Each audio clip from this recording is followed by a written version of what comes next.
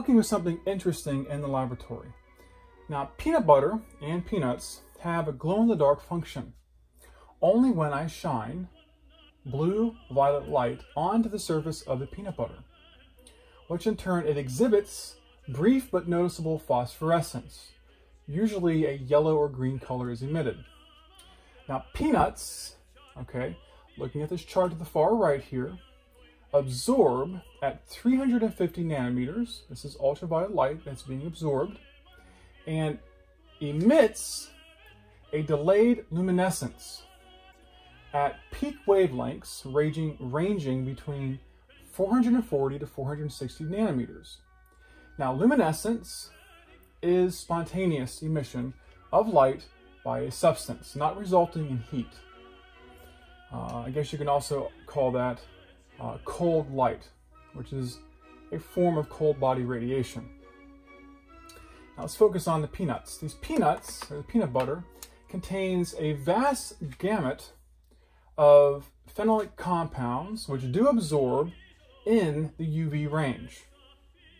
Now when ultraviolet light, looking at this chart to the bottom, is absorbed, okay, the fluorescent chemicals become excited, giving out photons of visible light. So in essence, what's happening here, think of it as a capacitor, sort of. So the electrons are at the ground state. When the electricity is applied, what happens? The capacitor stores electrons. But in this case, it's not a capacitor. Uh, so the electrons begin at the ground state. Okay, that's off. And when I shine the light onto the surface of the peanut butter, there's a charge that takes place. So the electron goes from the ground state to the excited state. Now, while I am shining this, it's charging. When I turn it off, immediately the electrons go from the excited state and drop back down to the ground state. Thus, in turn, photons are emitted. Now, let's head to the laboratory and let me show you this interesting glow-in-the-dark property of peanut butter. Now, what I have here is the peanut butter. Now, you're wondering why I have it in the freezer. So by freezing the peanut butter, you're going to improve the glow-in-the-dark effect. Okay, so lowering the temperature improves the fluorescent compounds, allowing the glow-in-the-dark effect to last longer when I shine the light on the surface of the peanut butter. Let's get a better look at this. I'm going to extinguish the lights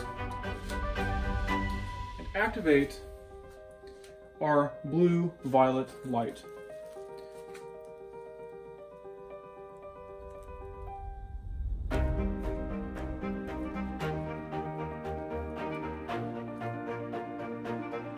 Let's get an even better look at this.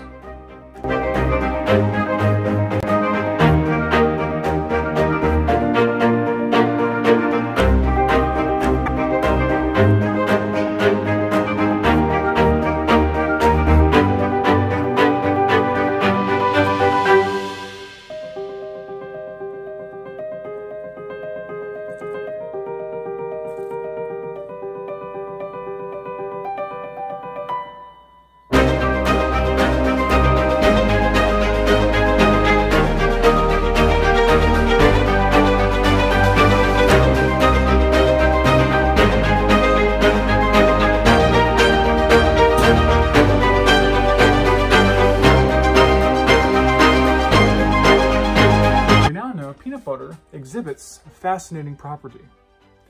It's an edible substance that glows in the dark. Now, zinc sulfide powder indeed glows in the dark, but it's not edible. What if we wanted to create an edible powder that glows in the dark? Let me show you one way. Now, to create our edible glow-in-the-dark powder, Let's begin by getting a mortar and pestle and some peanuts. Take the peanuts, pour them into this container, and begin to grind them up.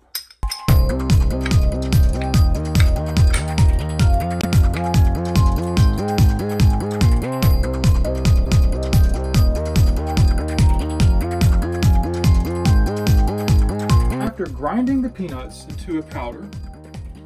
I'm going to place some of it on an evaporation disc.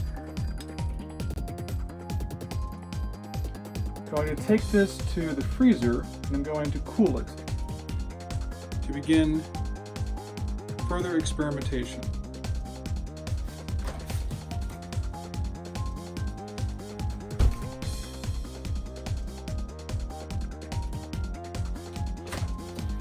After cooling down our edible powder, I'm going to shine this ultraviolet light onto the powder and it should luminesce.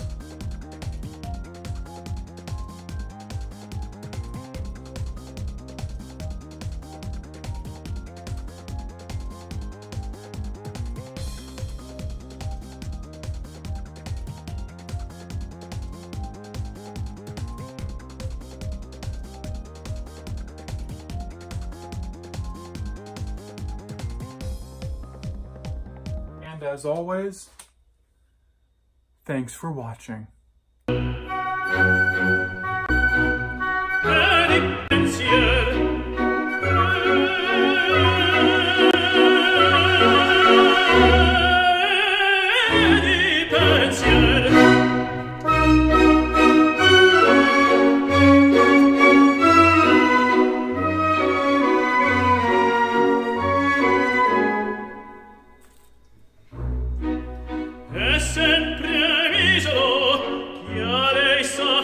S'affida,